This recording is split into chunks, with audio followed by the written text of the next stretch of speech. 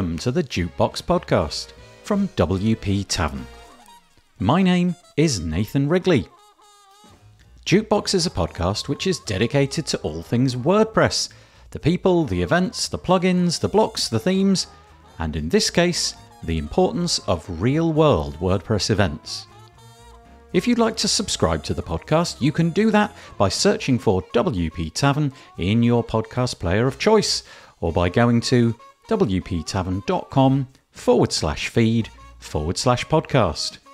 And you can copy that URL into most podcast players. If you have a topic that you'd like us to feature on the podcast, well, I'm more than keen to hear from you and hopefully get you or your idea featured on the show head over to wptavern.com forward slash contact forward slash jukebox and use the contact form there.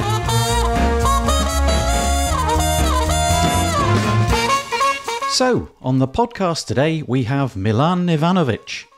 Milan is a WordPress developer at Valet.io and is a WordCamp volunteer, speaker, and organizer. He's the WordPress.org global translation editor WordPress Serbia lead, and is now part of the WordCamp Europe alumni. As if that weren't enough, Milan is one of the lecturers of the WordPress Academy in Serbia, where he has given talks and WordPress workshops. He's also a member of the Theme Review and Community Get Involved teams. It's pretty clear to see that WordPress and WordPress events play a major role in Milan's life. And that's what this podcast is about. We're drilling down on why the community which surrounds WordPress is a key part in the success of the whole project. The recent hiatus of in person events has meant that all the events moved online.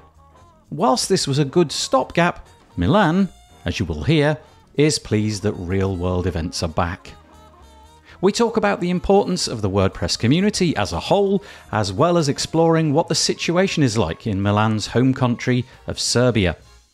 We discuss how Milan got started as a community member and the different roles that events like WordCamp offer people wishing to dip their toes in the WordPress waters. We also get into the subject of diversity and how Europe, as a continent, might face diversity challenges which differ from other parts of the world. Milan is an enthusiastic speaker, and I'm sure that you'll get some new perspectives from listening to the podcast. If you're interested in finding out more, you can find all the links in the show notes by heading over to wptavern.com forward slash podcast, where you'll also find all the other episodes. And so, without further delay, I bring you Milan Ivanovic. I am joined on the podcast today by Milan Ivanovic. Hello. Hello. Very nice to have you with us. We're going to be talking about WordCamp Europe and WordCamps and community in general. First of all, Milan, would you like to just spend a moment introducing yourself? What's your background in WordPress? Yeah, would love to. I started really early with WordPress and just like looking for community. Back in Serbia, we I didn't know that if you're looking for community, there isn't one. Like maybe you can start it. Uh, so 2013, I moved to Norway, and then all of a sudden they already had the meetups in place. So I helped organize those meetups. You know, just being there as a speaker, as a, one of the organizers. So I moved back to Serbia in 2014. And I was like, you know what? They already had one meetup and nothing happened from it. And then I just started a little bit with no expectations, like how many people will show up, how many people will jump in. Just like started and see how it goes. 2014 was the first official WordPress Serbia meetup. And now we have 16 different cities with meetups across Serbia. Wow, that's that is really impressive. From everything that I've seen, and obviously I don't really know intimate details about your life, but from everything I've seen, you are really committed to the community, like more so than almost anybody. It feels like. Pretty much, I, I got hooked up. Like the first WordCamp for me was WordCamp Europe in Leiden, 2013. I immediately knew that I need to help organize. I need. I saw volunteers dedicating their time. They're passionate. I'm like, yeah, how can I help? So they explained next year, follow the website. We're gonna open the call for volunteers, and then you can sign up.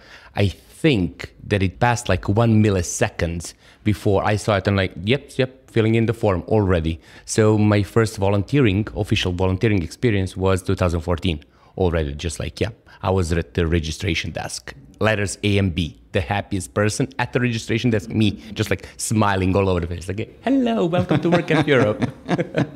but you've really taken it to heart and you committed an awful lot of time and Yes. been involved in some of the biggest events that WordCamp in, Oh, in particular has to offer. Yeah. WordCamp Europe's, and you were really influential in all of that taking off. I like bringing people. Like I believe in like that all of us together we can like push mountains. And when you see these guys like they come to the conference and all of a sudden you have like bunch of amateurs like in organizing the event, but they give it all. Organizing, doing like all of a sudden you see someone, you know, uh, in charge for TVs, like workshops, pushing tables and stuff. Everyone is giving what they have but if you collect hundred of those, like different people willing to make this event happen the best way possible, that was like heart touching for me, like in the beginning. So yeah, I've been involved like into organizing, started really slow and low, you know, just like being the foot soldier, working at the doors or like helping with the registration. Then, you know, my involvement grew over the years. So in 2015 was in charge like for a small registration desk. And then immediately we knew that we need to make this happen. In 2015, we had the first WordCamp in Serbia, WordCamp Belgrade, almost 200 people. And there was like, yeah, wow, this can really be a thing. Then we started with more meetups, more people got involved, more people willing to help in Serbia. Especially we had the growth like in WordCamp Europe.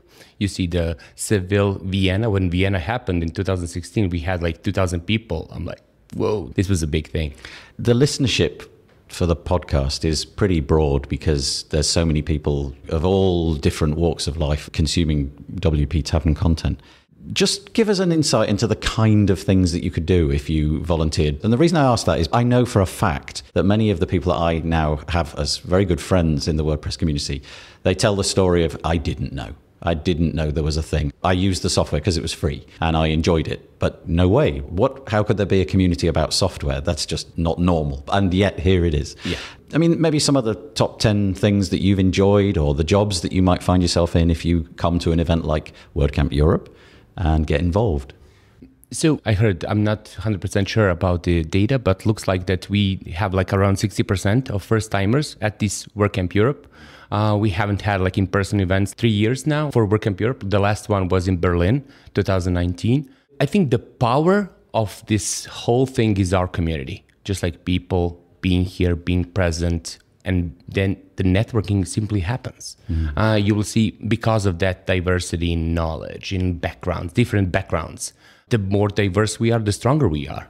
That's why you end up with someone sitting next to and chatting with someone who actually put the code in the core of WordPress. And then you see someone who just like installed it and they're simply using it, not having a clue what's behind it, like who put up the code, what's there. And then you see those two, the person's just chatting. Hey, what would you like to improve? Like, I think that's the power of this whole mess that we are into. Yes. Yeah. So, uh, networking and just like being present, that's what I think is the power of our community. If you do see like all those after movies or short interviews when just someone goes takes a camera and goes around and says like, "Hey, what is the only thing that you that you like here?" I think 9 out of 10 would say community, community because of community. We are here because of community and we are so supportive.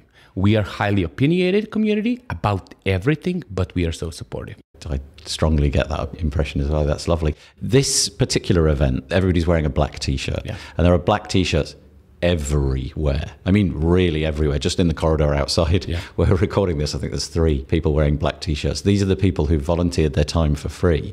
So there's people assisting you to find me so that we can have this interview. There's Yes. people publishing the little lanyards that we wear around our neck. There's people that are putting up signage. There's basically people doing all sorts of hidden roles. You know all of this stuff intimately. There must be hundreds of different things. And if I was somebody that had never come across the community, I think there's a chance that I would think, I don't code, I shouldn't go. But that's not the case. There's a job for everybody. Yes. So give us some of the sort of the things that you might encourage people to do if they volunteer for a WordCamp that first time. I got involved into volunteering because I wanted to make this event happen. When you see that your small role, doesn't matter like how small it is, makes a difference, Yeah. it's amazing. Even if you're a mic runner, imagine that someone is expecting that mic and you like feel so powerful like i brought that mic. Like here is the mic. You can ask your question. Those small beats that we had like in Seville i think we had around 70 to 80 volunteers plus the organizing team. In vienna we had 160 it's an army of people wearing the same color t-shirts. This year we i think they have 70 to 80 organizers and then 200 volunteers. Mm. That's why there's as many black t-shirts because everyone is having their shifts everyone is you know have a purpose everyone is just like enjoying the event and you see that they're all like happy or smiling everyone willing to help i think like in the beginning when we started the whole army of volunteers you get to event and you don't know where the registration is. You don't know what to do after registration. You get a lanyard, like, how is it going? Like, should I just say my name? You say your name, and you get a lanyard, you get a small goodie bag. Everyone is happy, but all the volunteers like guiding you, like, hey, welcome to the event. Here's the coffee. Here are some sessions. And there is something for everyone. Right. If they're willing to help if you say that I want to help with, I want to be in a room, or I would like to be at the registration, or I would like to help carrying boxes, there is a job for everyone. Yeah. Yeah. And yeah. that's a good thing. You basically don't need to be into the code. You can, exactly. like you said, you can carry boxes, you can print lanyards, you can guide people, you can put up signage. Yeah. There's just so many things. If I was on the organizing team at the level that you were in Berlin in 2019, in other words, you, you were really responsible for that event. How long before the door opened on the first day how long before did you begin that planning process? And I'm just trying to get a measure of how many hours go into mm. that and how it trickles down and you know how you disseminate that and discover the volunteers and basically how does it all fit together? Oh, it's a it's a long process. Mm. It's a long process because selecting the future city every year WordCamp Europe changes country. For WordCamp Europe 2018 in Belgrade, me and the local team, we worked on it from September 2015. Wow. To make it happen in June 2018 because it's a long process. You need to prepare your local team because it was a team around 10 of us. You're just investing so much time. The first thing you need to work on is the application because we have that application process where you submit your application and it's usually like 3 to 4 cities, you know, fully prepared to organize the event then previous organizers, foundation, WordPress Foundation, uh, we go on a meeting and then we talk about, we'll look at those applications and then we decide which city is that going to be.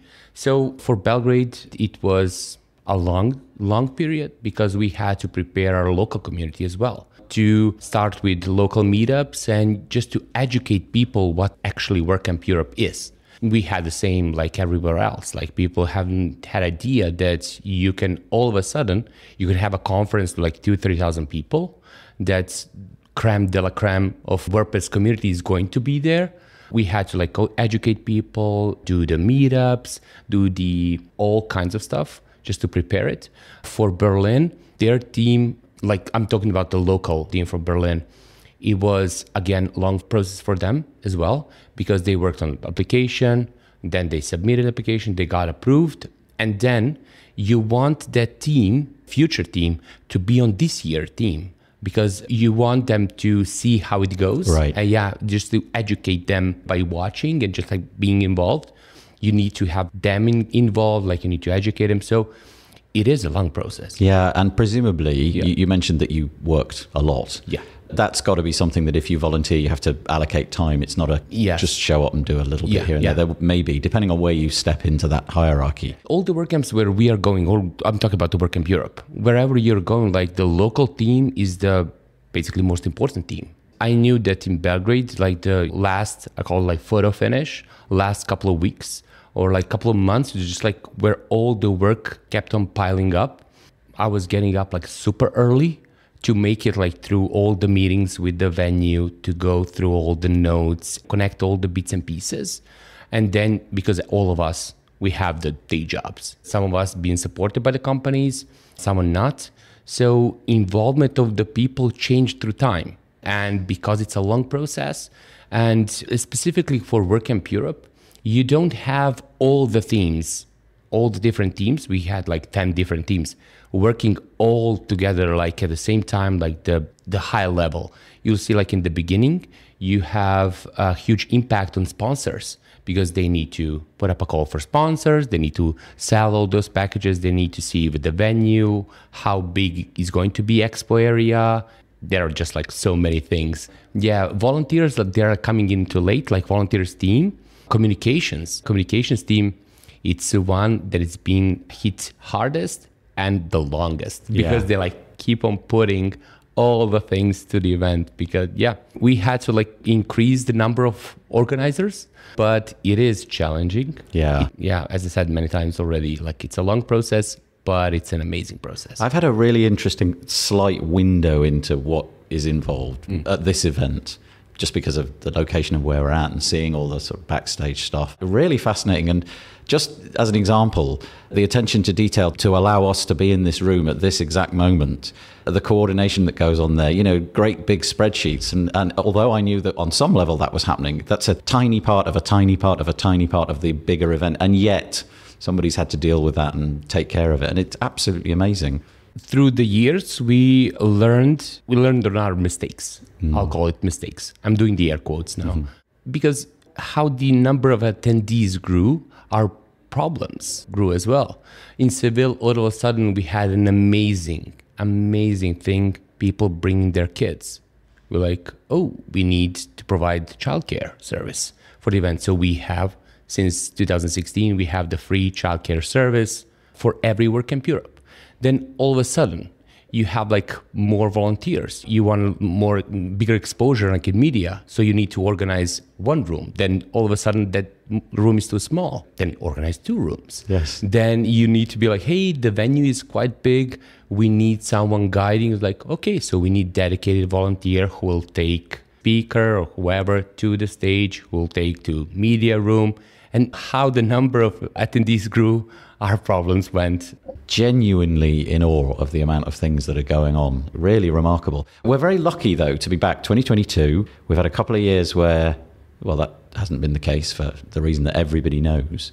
We're all delighted that we're back, but we've had a real moment where everything got a bit shaky. The community, every community, not just WordPress, but every community forced online. And I just wondered what your thoughts were about the impact of that fatigue of Zoom calls and whether or not local events have kind of taken a hit in numbers. Certainly, I think where I live, the interest in turning up monthly or whatever it might be to these meetups, hmm. when it's been online month after month after month, it seems like the interest is sort of slowly waning. So maybe we're at an inflection point where it will begin to pick up again. But yeah, just interested in your thoughts on that. Oh yeah, when we started, I was so glad when we switched to online. I was in Bangkok waiting on the oh, WordCamp yeah. Asia, mm. and it was like, "Hey, it's gonna happen." And then the team made the best decision ever. That will turn out to be like the best decision ever not to have it. Even though everyone were like super sad, we were like in Thailand, you know, just like waiting for that conference, and it's been in the making for so long. And the local team and everyone involved wanted so badly that conference to happen. And then when we were there and someone said like, well, maybe, maybe just maybe we are not going to have it. And then they canceled. I'm like, yeah, what are we gonna do? So we stayed in Thailand, came back. Then when online happened, every day I have two meetings. It's a Zoom meetings. I'm like, I'm not doing this again, like a conference. I can't do it. And then I was so happy, like when it happened, that I again get to see all the people involved. I was amazed by the number of people who signed up. Like I think 2020, eight, 9,000 people signed up. The good thing is that you have way more people being able to attend, to just join the event. But I was super sad after Yeah. it ended. Yeah. Because being involved so many years back, to see all those people hug everyone, talk to everyone. When it ended, I was like, whoa, no. It felt so empty. I'm like, no, no, this is not happening. Yeah, I was glad that this was happening online also for, for us in Serbia. A couple of guys decided like, hey, we're not gonna go with online, but a couple of did. And I was so glad that I did because it kept something happening throughout the years. We are now in the limbo between those online events. Someone wants to, someone is waiting on the in person events like to start happening all over again, meetups with the restrictions over. But yeah, in Serbia as well, you're going just a few now online. But yesterday on Contributors Day, as a part of the community team, we formed a plan that we're gonna contact all the meetup organizers asking how their involvement is now because it's been so long two or three years that um, no in-person meetup happened. So we're just gonna remind them ask them about the help how we as a community can help them. People change jobs. A lot of things happen. In the meantime during covid i got married i got kids but i'm still gonna be involved and see how we can help so now the focus is on community to revamp and to see just like, hey, how we can do with the meetups in person. Is it possible? Are those organizers who are like organizing those meetups, they gonna do it, or we need to look for someone else? from that meetup group. It's a kind of reevaluation. Yes. We're going to start again and see where we're at right now. Yeah. yeah, it does feel like the involvement has gone down. But curiously, as you said at the top, 60% of the people who showed up to this event are new to the community. So there's clearly some hankering for it. And so maybe when those events get rebooted with whoever they are, yep. then maybe it'll be the same. You know, 60% in the meetups will be new people. And that's very encouraging. Starting the day after tomorrow, we're going to see so many new meetups and like so interested. yeah, we'll see, see where we are next year. Let's just change focus a little bit. You mentioned a, mo- a, moment ago about the fact that you're based in Serbia, and Europe is a is an interesting continent. Lots and lots of countries, some big, some very small lots and lots of languages so that the barrier literally may be impenetrable. For example, if you're in Serbia, that may be the only way that you can engage. A few months ago, there was some sort of coverage about diversity and whether or not the community organizing the team for WordCamp Europe had addressed that well enough. We actually did a podcast episode in which we aired those thoughts, so there is that to listen to. But the whole diversity debate isn't quite as straightforward, is it, in Europe as it may be elsewhere? Because it's not about the same things. Diversity might be language diversity, or it might be which country you've come from, or what have you. So let's just get into that. Europe is a strange place. Europe is a strange place. Every year, we try so hard. I know, even when I was involved. And we, as a community, we just need to keep on keeping on about diversity. We need to educate people. I know that I had to educate myself first. I had to go for all the meetups. So when we start the meetup, I'm doing the first talk I'm doing is about diversity, is about code of conduct. And then yet again, people need to be reminded about it.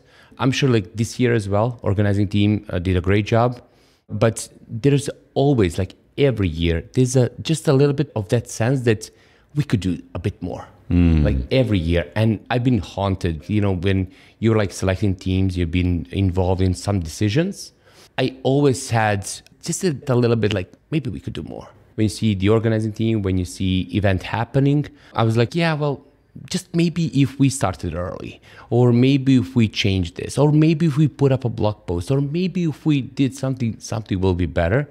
But what we are not noticing it that is getting better it's never going to be perfect. Mm. But as long as we are talking and we are constantly repeating and like wanting to change, sooner or later, like we're gonna be so close to that perfect. Yeah. So yeah, I know the difficulties I heard about. Uh, wasn't involved, but I heard about the difficulties this year organizing team and like just that limbo of that is it going to happen? You know, so they organized like local team for Portugal. They organized in 2019 for 2020 and then like yeah it's not happening online. Then should we do like this year? Then you know some some people from organized deep dropped off because life happened in the meantime.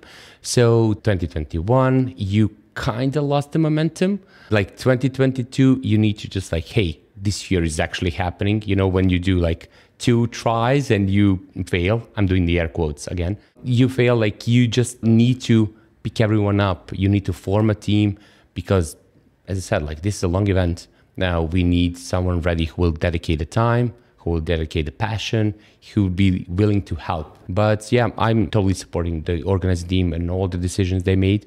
So happy for them. Again, we are not going to reach that perfect, but as long as we're like longing for that, we'll be good. A couple of follow up questions from that. The first one is Do you, on a personal level, when you sort of hear these criticisms from people, does it get you on a personal level, or can you differentiate? Okay, that's what somebody thinks over there. That's fine. Okay, we'll try our best next time. You're giving up a lot of free time here. Yeah. So in the beginning, it was harder. You know, in the beginning, it was harder because you know how much you give yourself into, you know, organizing, and you know that we all have different backgrounds, and you know the what's the backstory of organizer being or the organizing team, and you know that people are sacrificing their time sacrificing their families, relationship with friends. They can't be with their friends, families. And then you hear that someone says like, hey, well, maybe that team, they could change this. And you'll be like, because you know the both sides of the story, you can't be like, no, like that's not, but yet you can't get into argue. I was a couple times being part of the WP drama, and I realized that because of the language barrier, because we all different, that defending yourself, you're only going deeper, like deeper into the problem. So I always try to talk to that person. Hey, there are things that you're not aware, something, but yeah, as I said, like highly opinionated community about everything. That's what I love about it. That's what I hate a little bit. When this event is over, presumably there's a process of going, okay, let's figure out what we did, what we did well, what could have been improved. Is there a thing like that? And can people like attendees, somebody like me, for example, can I put my opinion forward about, okay, next time, less of this and more of this? Yeah. Yeah? That, yeah. There's a process for that. Yeah, yeah, yeah. That's a process in place that you put up the form like, hey, give us the feedback. My personal opinion is that like you're not reading the, you know, the worst possible things. Luckily, we never had those. And you're not reading all those the best things ever like best WordCamp ever. You're looking at least i am looking for something that was constructive criticism. Yeah you go through there and you know that you failed i don't know with food could be better or something could be better. You're aware but you're looking for the constructive criticism. And we always like till now like waited for about two weeks because two weeks is um a period of time that people need to just think about everything. Because if you give, like today, if you give that form to attendees, everyone be like, oh my God, it's so crazy. If you give that form to me, I just want the hat on the claw machine. Buddy, this is going to be like the best WordCamp ever. Because I just want, we're waiting about two weeks just for people to breathe in, decompress, you know, settle their thoughts, and then you give the attendees a survey to fill in. We did that every year, and it turned out to be an amazing thing for the future reference. Team will also put up the handbook. They will put up the handbook of all the things that they've learned, challenges that they faced, what could be better, what could be improved, because we have the internal P2 for organizers, for teams to communicate. So, yeah, that's their life probably uh, next month. They would just like decompress and just all the thoughts put together in one place for the future organizers. Are you here as an attendee this year, or do you have any? Yeah, well, I'm, I'm speaking. I'm speaking because we started that, and I love that rule actually. Whoever was like the global lead for the previous year, you'll be like the keynote speaker for the next WordCamp Europe. Like on track one, you'll do the talk. My talk was about community and I knew that it's going to be emotional, but I never knew that it's going to be this emotional. Uh, yeah, so yeah, I had I had tears, but I'm proud of those. It was emotional talk because those are all the things that I'm super passionate about. I'm super passionate about diversity. I'm super passionate about community in general. I'm super passionate about changing myself first and then helping change community for better so many times, so many stories that I've heard about people just like attending one single meetup and then they realize that, you know what, this is good. This is a solid foundation for the career change or changing life. I had one guy in Serbia attended our meetups. He was a hairdresser and I knew his face. He was constantly attending our meetups, but he was always super silent. He's like, no, no, no, all good. I'm just like listening to talks, but he's a good guy. So after two years, he switched roles and he said, like, finally, I'm doing the front end work. I got my first job. Thank you so much. Thanks to community it changed me in so many levels. So I did this talk and I completely stopped because all those images flashed in front of my eyes. I have a slide that how many, uh, how much this community and being involved, this whole involvement changed me as a person. I had all these images just like flashing because I've been through some like tough times, like everyone. And then I knew how much this whole community has been listening and helping, supportive. And I basically stopped, just like froze at the stage. I'm like, oh my God, I'm gonna cry. You're not gonna cry, you're gonna continue. I got the applause and just like, and that's the support I'm talking about. And I continued, but really personal talk for me. And I loved it. I loved the subject that I was sharing. And people say that I'm quite passionate and that can, I can make something happen. Final question, and it's a quick one. Will you be back next year? Oh, yes. Oh, yes. Milan, thank you for chatting to me today. Thanks so much, Nathan, for having me.